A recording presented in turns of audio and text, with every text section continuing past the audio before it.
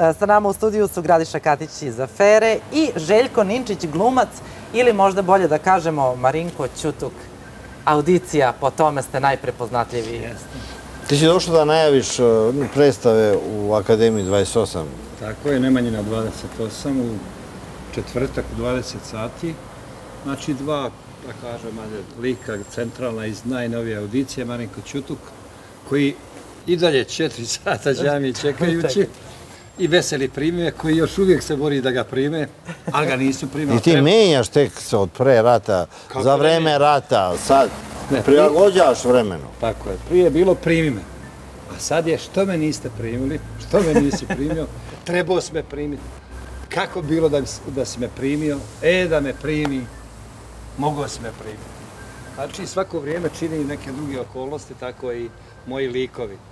E, eto, Marinko, i dalje će, četiri sata će mi čekajući. Uglavnom u jednoj predstavi gdje sam napravio sublimaciju od e, svih onih likova, u dva lika, znači Marinko Čutuk i Veseli, pričaju o svojim dogodovštinama, e, kako na audiciji, tako i života i šta im se sve dešavalo. Marinko Čutuk više se, više pažnje obraća ovom regionalnom ili, ali, eksiju prostoru, dok Veseli se obraća kao izbjeglica i povratnik iz Kanade. A ja ću da vam se obratim sa dobar dan. Dobar dan, E tako, da pogledamo.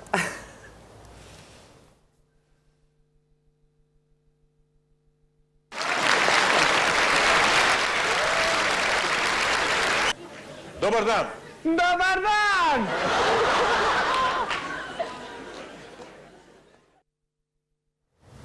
Koliko ovakvih e, starih ima u ovim novim predstavama? Ovo je jedan od tih momenta koji ja isto, šta da kažem, e, svi oni koji dođu i vidjet će e, nešto od staroga i normalno uvijek novo, jer uvijek je audicija podržavala i uvažavala okolnostima okolnosti u kojima smo živjeli, tako i znači vidjet će nešto od staroga, od prije 25 godina, od prije 10 godina, tako i nešto je najnovije. Gledajte, kada ste ti prvi put čuo za audiciju? Ja sam gledao audiciju kao student e, negde, ne mogu sjetiti sad možda u Vuku Karadžiću, negde na Zvezdavi je bilo. I stvarno je bilo urme. Ja sam gledao još na obali kad ste radili kod Kustere. Pa dobro, ti si tad bio, ovaj, da već danas internacionalac, e, ovaj novinar. Tako da... E, Obela je bila, da, centralno mjesto tada u Sarajevu gdje je nastala audicija i mnoga drugih stvari, tetovirano pozorište, A i dugo smo kroz audiciju, kroz eh, indeksovo pozorište razumevali vreme eh, na jedan humoriški način i eh, to nam je bio melem za rane i za vreme ratove. Dobro, indeksovo pozorište je bilo više političko, ovaj, pa političko pozorište, a ovo je bilo ovaj humor bio neviđen. Da, i indeksovo pozorište... Ja se sećam to kod da sam juče gledao, ono, baš smo sad nešto pričali, Bore Stepanovića kao profesora, pa onda Envera i cele te ekipe, mislim, bilo bilo ih je ovaj, dosta. Dok je ovo, indeksovo pozorište više bilo na bazi da političke satire, jeli, imitacije. Audicija, ono što je Ne, vi niste imali, vi ste imali svoje likove, niste imitirali političke ličnosti. Ne, političke, ali smo imitirali likove koji dolaze na audiciju. I kao što vidimo danas, 90% najjačih šova je upravo na baze audicije. Pa ovo, Saša Petrović. Imam talent, imamo... Ovo što radi Saša, da. Saša je to preuzeo, jeli? Da ne kažem oteo, jeli? Na vrijeme. I tako da... Da, on radi audiciju, stvarno za ove, za ove ludake. Pa to je to, da, samo što imate audiciju za glumce, audiciju za pjevače. To je, to je grand show i šta...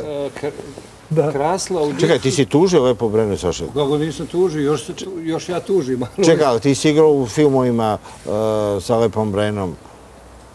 To je kako da ne, da radili smo kao ekipa, tako da sam i ja tu bio tri, ali eto, oni su iskoristili... A čekaj, i vama je bio i Lepoj Breni i vama je bio Raka Marić e, menadžer. I napravio je Jugoslovenske zvezde i od Lepe Breni i od vas. Pa dobro, mi smo već skrenuli pažnje e, pojavom Crno ovci, ako se sjećaš ovaj, televizija Sarajeva, a on je samo vidio ono što mnogi nisu vidjeli.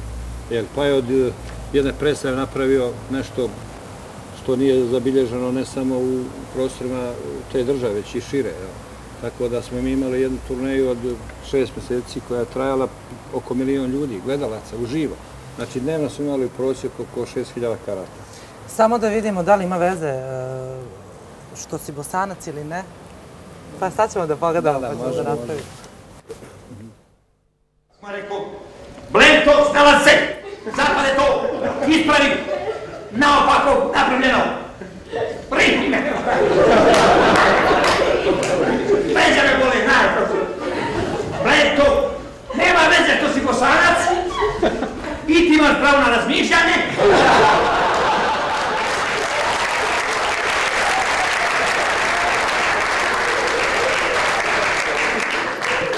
Razmišljaj, Bleto! I ja razmišljaj, i razmišljaj, i razmišljaj, i razmišljaj i odustanem.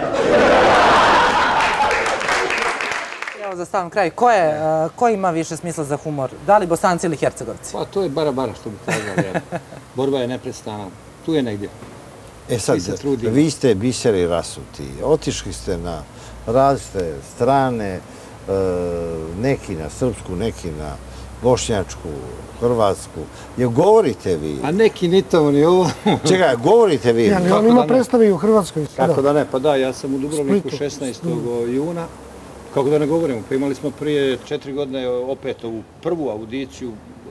Čekaj, sa istim, ko- koji su Da, i isti, proslavili. Oni, da, da, oni iz prve verzije, tako je. Tako da smo kontaktiramo, međutim, normalno, životne okolnosti, svak ovaj, o svom jeli, jadu se zabavio, tako da po da sve potrebi. još jednom za sam kraj pozovemo.